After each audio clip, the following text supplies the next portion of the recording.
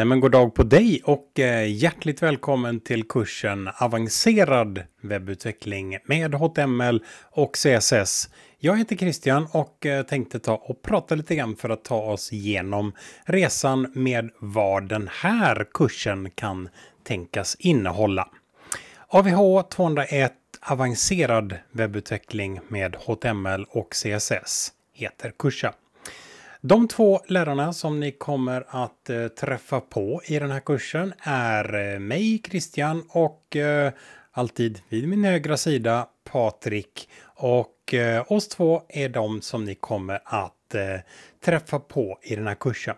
Ni har träffat oss eh, båda två tidigare så ni vet vilka vi är. Och eh, vi kan väl säga som så att eh, den här kursen hanterar Eh, Eh, vi bygger vidare på den här webbutveckling med HTML och CSS, den första kursen som du läste här. Och eh, vi breddar innehållet i den kursen och fördjupar innehållet i den här kursen. Efter den här kursen är färdig så kommer ni att vara bättre webbutvecklare och ni kommer att göra bättre sidor. Det finns nämligen två saker i den här kursen som ni kommer att lära er på. I avancerad webbutveckling med HTML och CSS så kommer vi att fokusera på två saker. Dels så kommer vi att fokusera på att göra dig som utvecklare bättre. Vi kommer att ge dig bättre och smartare verktyg för att du ska fungera på ett bättre sätt. Och den andra delen handlar om att vi ska se till att göra webbplatsen bättre. Kommer att se till att webbplatsen i sig blir bättre helt enkelt. Så det är de två sakerna som vi kommer att göra i den här kursen. Om jag tar och eh, kikar på kursplanen för den här kursen så ser jag vissa saker och eh, här har jag saxat lite grann ifrån eh, kursplanen för den här kursen.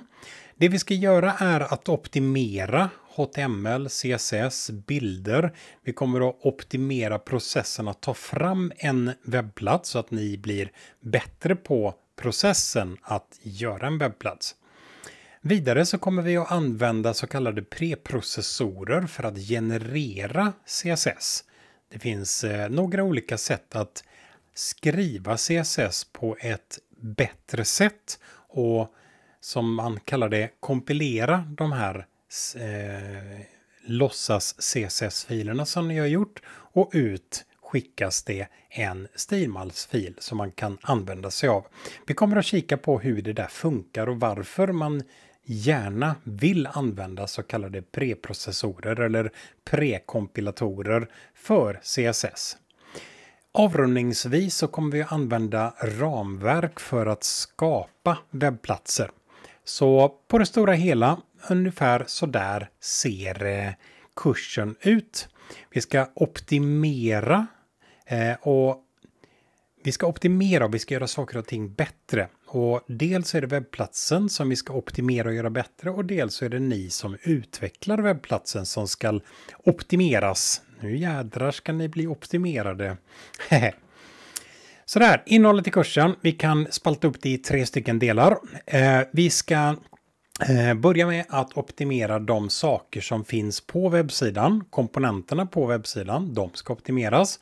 Sedan i del två så ska vi då använda preprocessorer eller prekompilatorer, vilket ord man föredrar, för att generera CSS på ett smart sätt. Och den sista delen av kursen där ska vi använda ramverk för att ta fram en webbsida.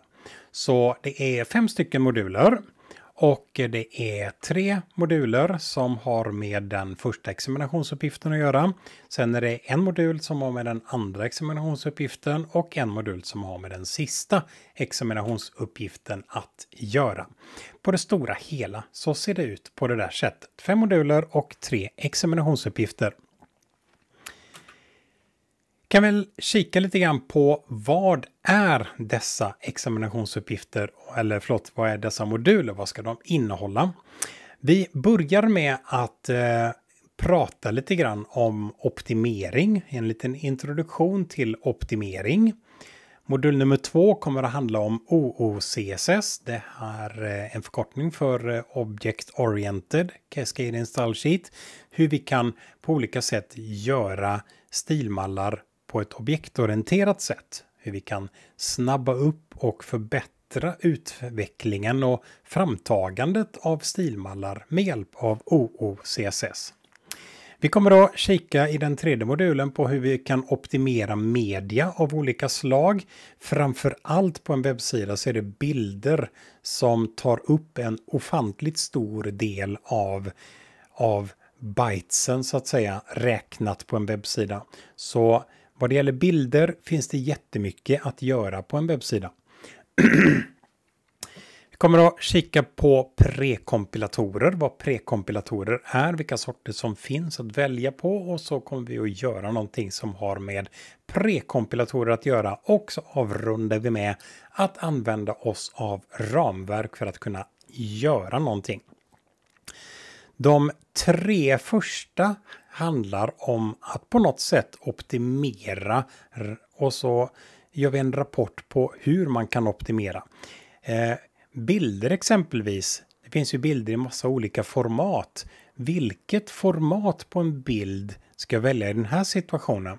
Om bilden ser ut på det här sättet, bör det då vara en JPEG-bild eller kanske en GIF-bild? Ska det vara en PING-bild behöver jag 8 eller 16 bitars precision på bilden. Hur många färger behöver jag? Vi optimerar och optimerar och kommer fram till det som är bäst i den situation som vi hade tänkt oss. Det är möjligt att eh, sidan du gjorde, den sidan som vi utgår ifrån, det är ju alltid, vi kommer, det kan nämnas också att eh, vi kommer att utgå ifrån den sidan som du gjorde som examinationsuppgift i VUC-kursen. Så det är den sidan som vi kommer att optimera hela tiden. Så med lite tur så är din sida i eh, VUC-kursen inte speciellt optimerad så då har du en del att göra. Skulle det vara så att du har optimerat den sidan som du gjorde i kursen när det begav sig, då börjar din kurs eh, nu samtidigt som alla andra. Det finns många olika sätt att optimera. Testa något annat och något tredje. Det finns massvis med sätt att optimera en webbsida på. Vi vill i den här kursen att du testar olika saker. Väldigt mycket av den här kursen handlar om att testa, att göra någonting, se blir det bättre eller blir det sämre? Varför blir det bättre eller sämre? Så en stor del av den här kursen handlar om att optimera och testa och testa och testa. Kanske finns det något nytt fräckt bildformat som bara fungerar i Örebro län. Är det bra eller dåligt att använda det här nya bildformatet?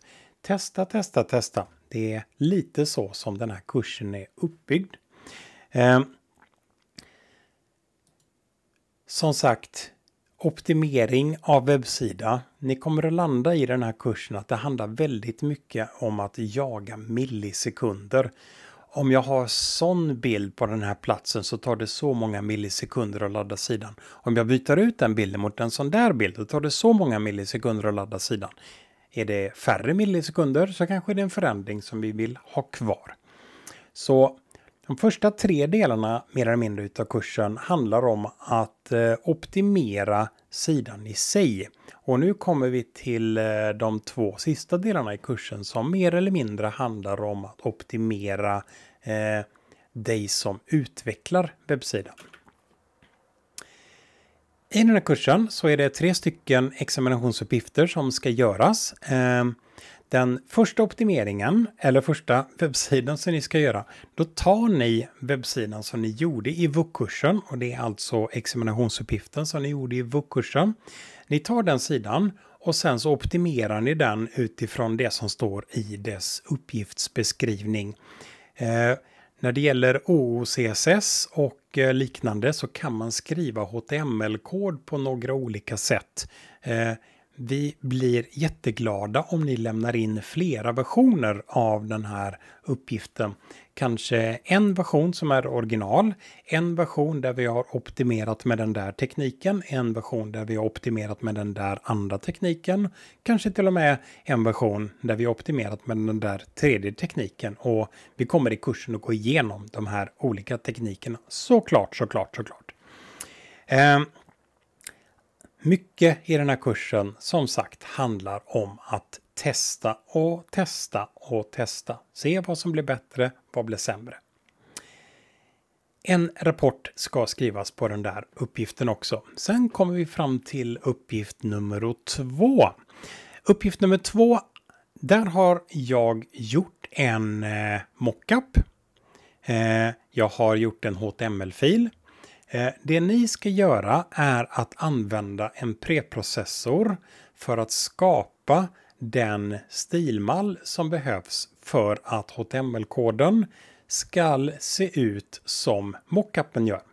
Så se mockupen som facit, HTML-filen som skrivskyddad och ni ska då skriva den stilmall som behövs med hjälp av en preprocessor för att sidan ska se ut på det sättet som den gör i mockupen.